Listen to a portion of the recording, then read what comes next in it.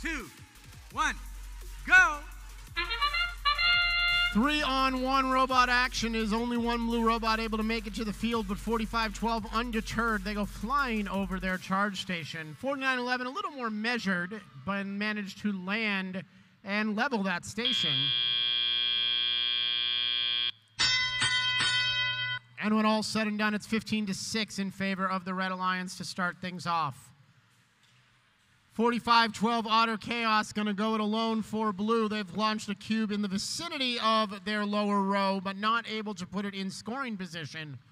For the red row alliance, all three robots active, and 49-11 gets the scoring moving with a cone on the bottom row. Here comes 24-12, the Robototes. They are bringing their robot up to the community and up to the upper row with a node covered by a cone. Five more points for red. Otter Chaos driving like maniacs out here trying to keep up with a three, three robot red alliance. 488 Team Xbot puts a node in, or excuse me, a cube in a hybrid node on the bottom row, puts two points on the board. 24-12 adds five in the upper row. And 41 to 12 is the Red Alliance lead. Make that 41 17. 45 12 steals the cone right out from under Team Xbot.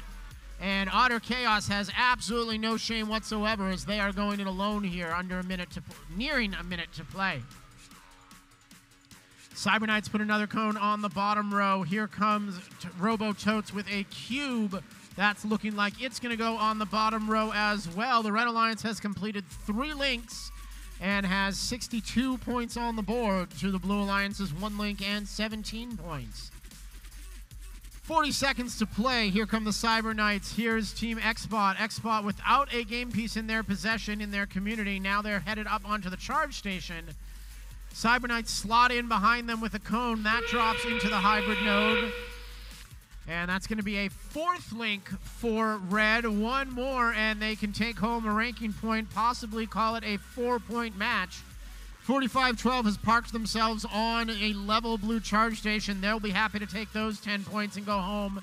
Two red robots up on a level charge station, and with everybody hands off their controllers, we can count down the remaining six seconds. Now five, four, three, two, and one. Qualification match number 31 is in the books.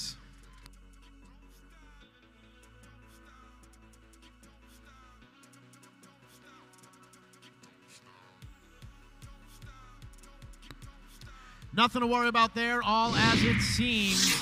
Scores up on the big board, and the Red Alliance takes it home. 91 to 31 and three ranking points for Red. Cyber Knights move up from 6 to 4, Xbot from 8 to 6. And 24 12, the Robototes vault from 17 up to 17 from 23.